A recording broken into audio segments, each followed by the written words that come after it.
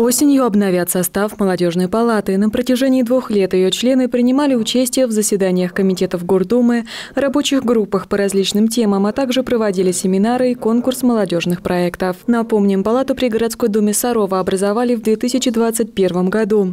В нее вошли 15 активных саровчан от общественных объединений, профсоюзных организаций, учебных заведений и других городских организаций. И если раньше претендовать на место в палате могли только представители организаций, организаций, то теперь дорога открыта и для самовыдвиженцев. Тем самым мы открываем э, такую возможность э, ребятам, которые, ну, может быть, занимаются предпринимательской деятельностью э, или э, не работают, э, учатся, но не состоят э, в формальных общественных объединениях, не являются членами трудовых коллективов, или, например, трудовой коллектив уже дал свою кандидатуру, Самовыдвиженец должен будет собрать подписи саровчан, которые поддерживают его кандидатуру в составе палаты. Еще одно нововведение при отборе кандидатов – возможность представлять свои социальные проекты, которые они хотели бы реализовать как члены молодежной палаты. Ранее процедура включала два этапа – подачу документов в аппарат Думы и собеседование.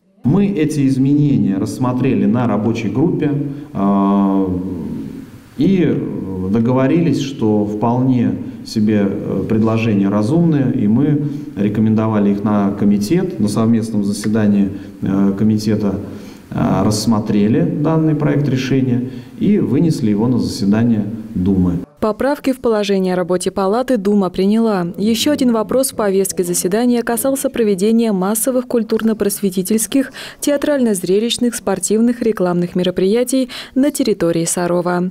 Согласно новым требованиям, во время некоммерческих мероприятий, выполняющих патриотическо-воспитательные функции, запрещено выпускать в небо гелиевые шары, небесные фонарики и иные летательные объекты. Также участникам запрещено передвигаться в местах проведения этих мероприятий мероприятий на самокатах и других средствах индивидуальной мобильности. Ответственность за соблюдение правил лежит на организаторах.